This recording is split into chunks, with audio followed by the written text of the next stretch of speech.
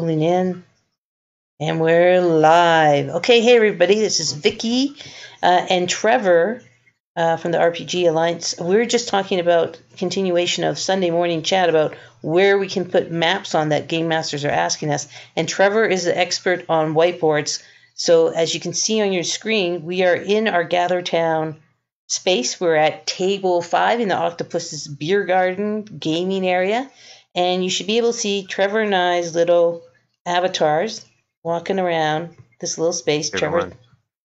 I'm stuck in the whiteboard. Help, help. Get out of the whiteboard, Matt.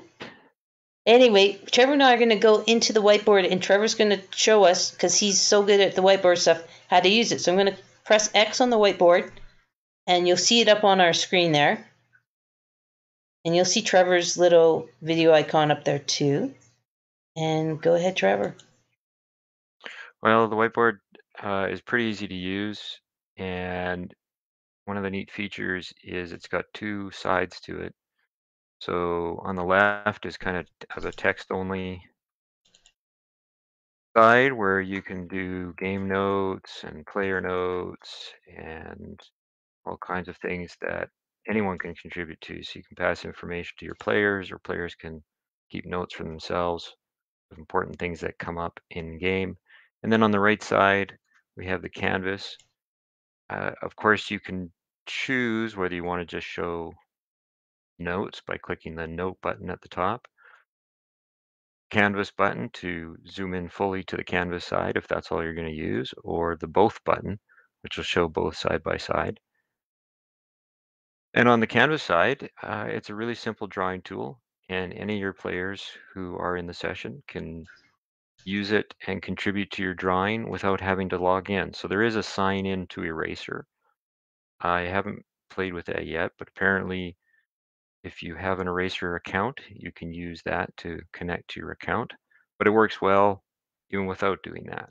And this whiteboard object is attached to this particular table. So if I close it, come back tomorrow, whatever was left behind is still going to be there, which is really cool. And the drawing tool tools are really simple. Once you pick a tool, uh, you can choose the color, you can choose a fill, a green fill. You can choose from any of their basic simple uh, shapes. Arrows, of course, which are useful in mapping. Lines, which are ubiquitous. And, of course, the pencil. So this is great, easy way just to add that uh, just-in-time mapping or drawing or whatever you want to do with it during your game. And all your players can contribute. Players can select objects. So if they want to make a token for themselves, they can just drop something in and then they can move that around on the map. Can can I drop in the map now? I'm really Go excited ahead. about this. Go ahead, Vicki. We just discovered that you can drop in images All right, so I'm gonna drop, dragging and dropping. and so I've just got my my map file on my computer, and I'm just gonna drop in. There you go, a little ship map. Here, I'll pull it over, maybe. And that, and then you said I could drop in a token, right? So let me pull up one of my D&D tokens. So cool. I've never done this before. This is so cool. So let me see. Pull in. Ooh, wow. There you go. And let me just make her a little smaller.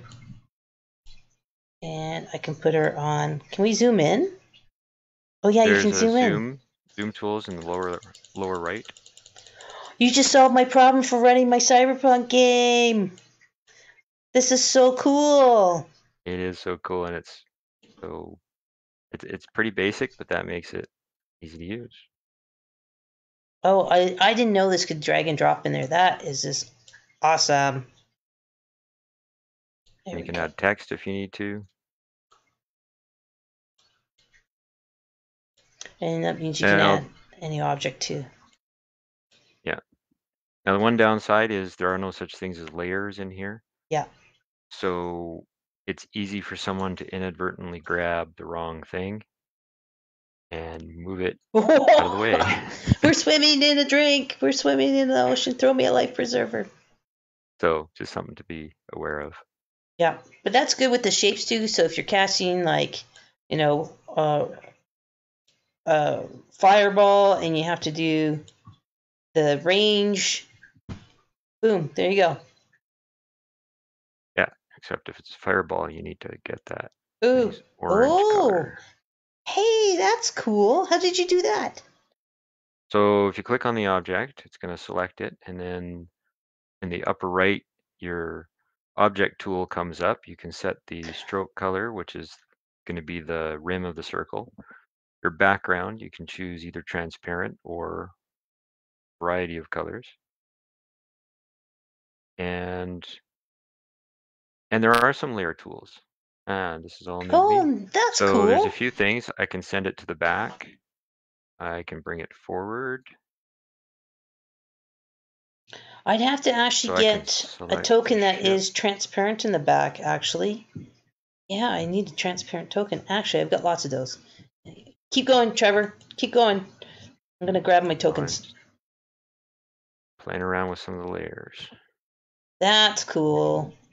See, every time someone asks us a question, we like we learn so much by trying to figure out the answer. So thank you again, Ed, uh, for asking the question about maps and stuff. Because I was just talking about with Trevor with my idea of putting it into a poster map, and he goes, "Well, you can do that on the whiteboard." I'm like, "Get out!" And he's like, "Yeah, totally. Let me show you." And so that's this, right? Here, let me throw down a. There we go. So just playing with the layers, bringing an object forward and backward in the list, you can get them in the right order so that you can see your tokens with your fireball ring on your ship. That's so cool. So if you quickly make a your token with the that's transparent in the background, then I wouldn't have this problem with the white tokens I put on. That's great. That looks cool. I just put the little green Ronin dude. It's kind of small. He's only 30 pixels, so that's why it's small and a little bit fuzzy. But obviously, if I get a high def token, that would work great and look great. That's so cool. Yeah, it, it's pretty cool for for the simplicity of the tool, and it's all right there, embedded in there and and ready to use. Right on. Anything else we want to cover in this? That is pretty I cool. can't think of anything offhand. You can you can multi-select a bunch of images by dragging and dropping your mouse and surrounding them, and then clear them off. So I just dropped down the Bride of Frankenstein token from um, from GatherTown from when you make your avatars, and I snipped it, and then I made it, took it into uh, a different program to make the outside just transparent, and that's what it is. So if you have your, if you're playing with your own token, you can easily make your avatar a token by just taking a picture on screen, snipping that, and just then wiping out all the the white or all the blue with um and making it transparent and there you go. So you would have your avatar in your game as well. So again more integration or immersion with the Gather Town, you know avatar that you have running around. Sorry that was a side sorry i went down a rabbit hole with that. No worries, I'm just trying it myself. i'm wondering if we can then put in a link or what's that link button anyway that copy link to elements. What's that do trevor? Where are you looking? on the right hand side where the layer stuff is and the actions are. I think it's because i'm on my token. So if i click off my token maybe it's not there. Oh yeah so when i click on an image or a token it comes up on the right hand side. Uh, what that does is it gives you a URL to the eraser.com site and that particular element. Oh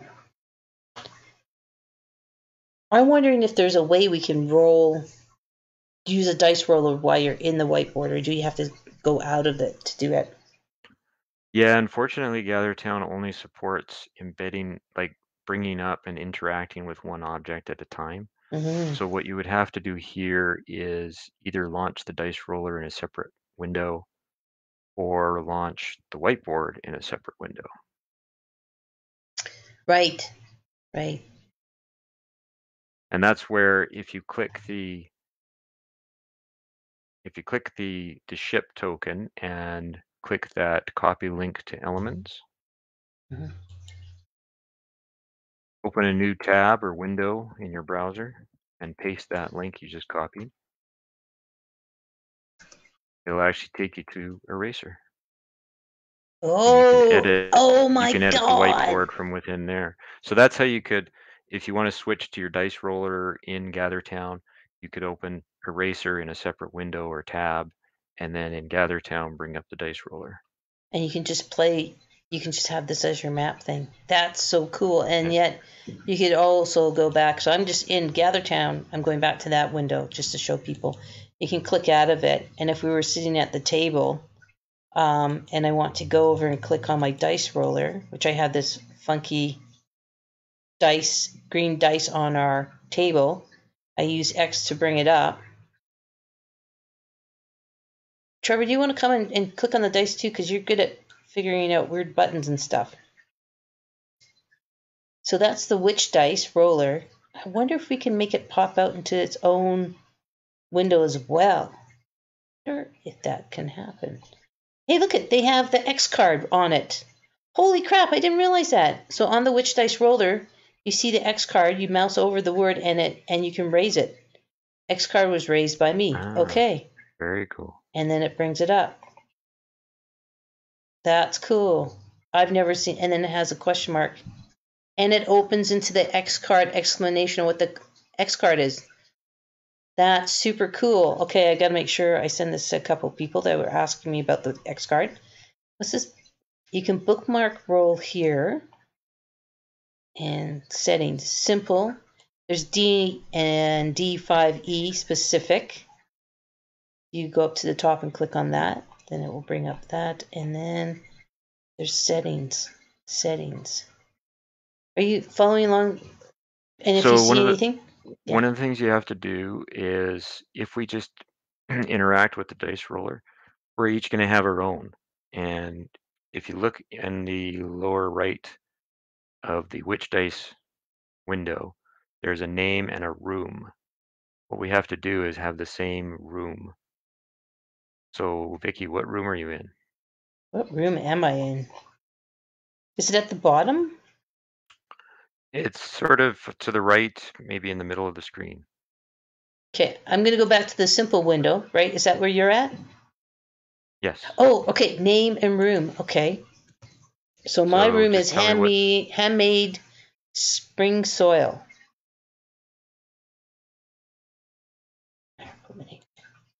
Oh, just wait. It just switched over. It has all kinds of different names for these things. Sorry. You. It's just a random name generator. You can actually put in your own name. So Okay. put in put in RPG dash Alliance. G dash alliance. Oh my god, this is so cool. Dash Doing con. it. Okay. We're doing it. We're living on the edge here. RPG dash Alliance dash con, and then hit join room. I hope I hit it right. RPG dash alliance dash con. Yep. Okay. How do we tell if we're in the same room or not? I'm going to raise the X card again. There it is. I see your X card raised by Vicki. I keep raising it. Can you raise yours? There you go. That's so cool. Oh my god, am I glad we're doing this. This and then is if awesome. I pick a, a dice to roll, you should see it in the in the dice log there. I do. Yeah, for sure. I'm going to click two two d20s for advantage and disadvantage. Oh, we're five Oh. and six, so they're pretty close. And being from DCC, I can even roll a D7. Oh, do you just go under the dice? DX? Or do you do plus plus add? Oh, that's no, that's when you oh, add. interesting. Oh, nice. There it Okay. is. Okay. So you can actually click on multiple dice. So if I click on, say, a D20 and a D4 and then roll, it's going to roll both. Hey, how did you get the D7? In the lower left, there's a DX, and you can put any number in there. okay, Just click in the box. doing it, doing it. Oh my god, that's so cool. DCC, of course, has the D30.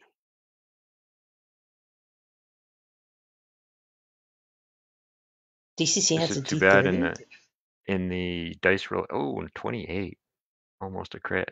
Ooh. So I So could if you left click on one of the dice buttons, that will select it and add it to your roll. And if you click multiple times, so I can get 3d20. And if you right click on a mouse on one of the dice, so it will reduce that count by one. So if you inadvertently click on, you know, D10 twi- three times or something, I can right click on it to bring it back down to a two.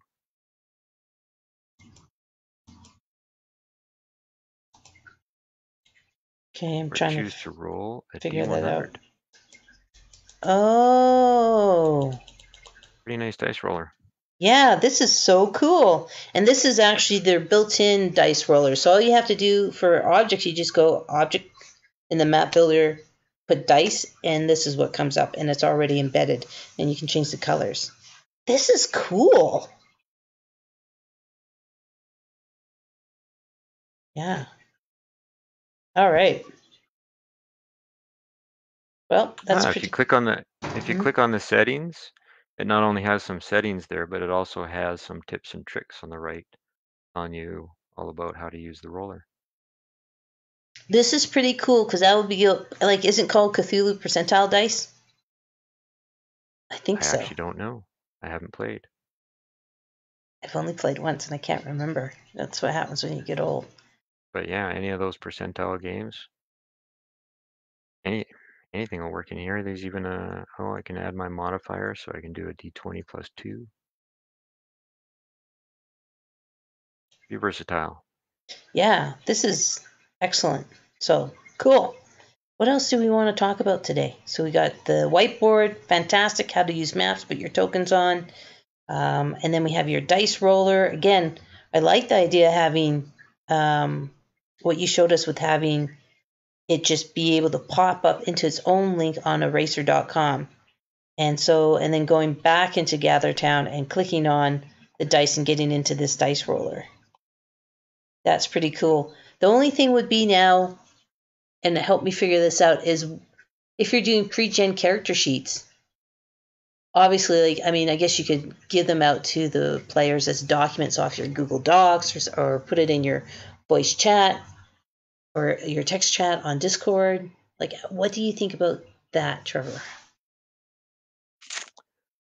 Well, I know that you can, for example, you can embed uh, Google Sheets into GatherTown, but that's a build type operation. Mhm. So I don't know, I don't really know how file distribution would work. I don't think you, I don't think GatherTown supports sharing files and being able to distribute files to your players. What I did for a game last night, hmm I set up a Google Drive with all the pre-gens. I sent a list, I sent the link to all my players. And then I set up a Google Sheet in GatherTown so that they could sign up to which character they want to play. And that way, every one of them is looking at the same sheet, and first come, first serve, they can put their name next to which character they picked. But the actual pre-gen characters I just had in PDFs, and I sent them the link separately through email. Yeah, that's what I think I'm going to do if I run a cyberpunk game. And then they can just open it up in a PDF form on their screen, and just work from it. The other idea I was Very cool. thinking about was just putting each each um, like doing a snip of that's here's my problem. and I'll, I'll show it on the video.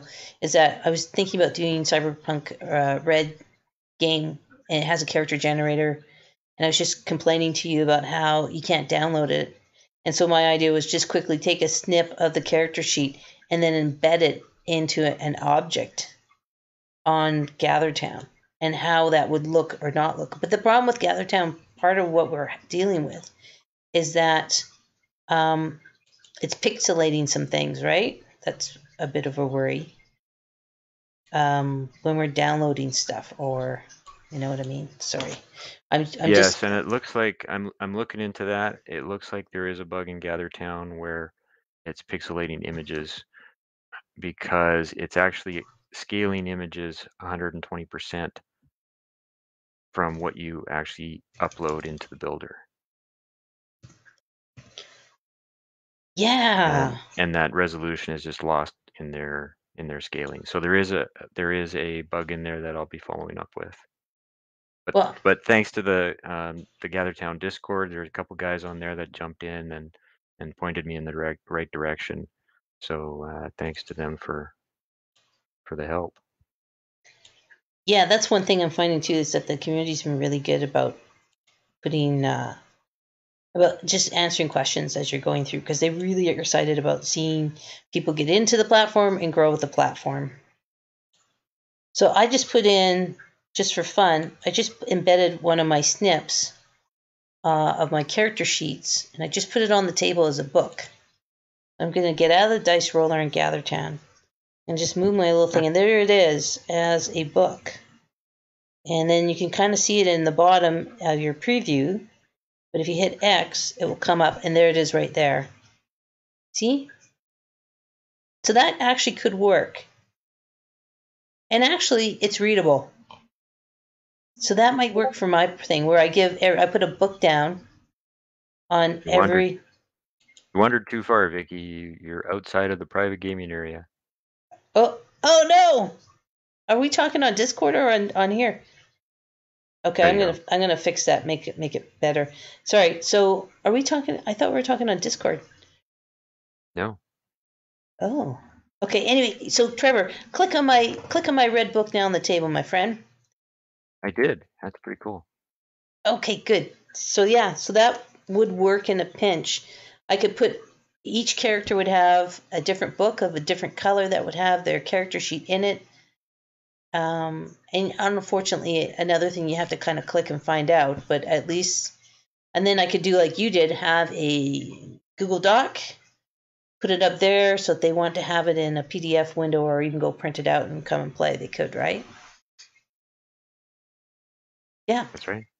That's cool. That's very cool. I think now you have at least the basics of uh, of a game.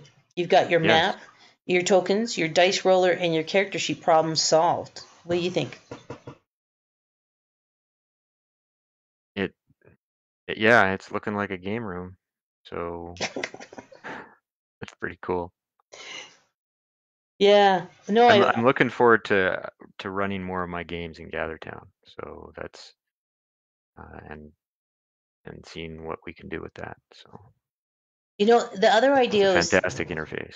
the other idea I was thinking of, and I know this is just me adding rooms, but I was trying to think about how I could do my uh, D and D game, regular game, again just to test it out. Because so I'm gonna run, try and run Cyberpunk in here to see how it works, um, and and then the next weekend I'm gonna do my D and D regular game, and with my D and D map, I'm gonna take the map and just cut it up into rooms, and then I can like build my own room to room with this.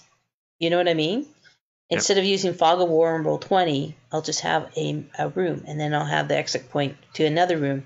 And I'll, I can't. My D and D group they like to talk a lot, so they won't get very far. I only need to set up three rooms at this dungeon we're in, and then they can actually walk through the room. And I can That's actually put, um, yeah, I could put objects as the zombies or the the skeletons they're fighting. That's why I was stealing um, the Halloween avatars from GatherTown, so I could populate my own D and D game. Anyway. Ah, very cool. Yeah, yeah. It, it it doesn't take much to take that next step and actually play your game in here. with your avatar running around as your token. Yeah, exactly. Yeah, I think I might try and do that if I have time this weekend or next weekend. Anyway, that was super fun. So I guess we can Yeah. probably wrap it up. Anything else you want to add, Trevor? Uh, not that I can think of now. Oh, you know what I do want to do uh, on this video? I was I just want to take people to conventions. I want to take them to uh, just on my screen. I'm going to tabletop events. And when is Empire of the? There you go. Empire Cyclops is November 5th to 7th. I'm clicking on that. Trevor can't see it, but I'm taking them to the tabletop uh, event site. You can buy your badges now. It's open. And I got to tell you, again, the scuttlebutt we're hearing is that that's going to be an amazing Gather Town experience. I'm just opening up the the events. They've got holy crap, you guys! They've got like 13 pages of events, and a lot of the games are already sold out. But there's still good tickets and good seats to good games to be had. So I'm just showing them that yeah, on the screen. Lots of a lot of fun. Uh, they embrace the Gather Town experience in Spawn of Cyclops Con, and everyone agreed that it was just fantastic. It made it a convention, and I'm sure they've got new things in store for this one because they're always pushing the envelope. They are always pushing the envelope. They do such incredible stuff. It's not even funny. And uh, I'm just looking at their, I'm just going through the, their site a little bit. But yeah, you guys, if you want to really see how GatherTown's going to function, and, and these guys are light years ahead of us, and we're going to go there and learn. And please go get a badge. Um, I'm just clicking on the badge mount. It's only five bucks, and and you you know go and check it out. Uh, they're doing amazing stuff. There, I just showed that on the on the video there. Okay, so I guess that's it. Hey, Trevor. That's it for now. All right, thanks a lot, everybody. Um, we're going to post this on our, our YouTube if you didn't get a chance to watch it. And that's uh, essentially whiteboards, dice rollers, which we weren't planning on doing, and other ideas on how to get character sheets involved in your online game. Thanks, Trevor. Yeah, thank you, Vicki. It's going to be a lot of fun. All right, and we'll see you guys at Empire of Cyclops, November 5th to 7th. All right, end.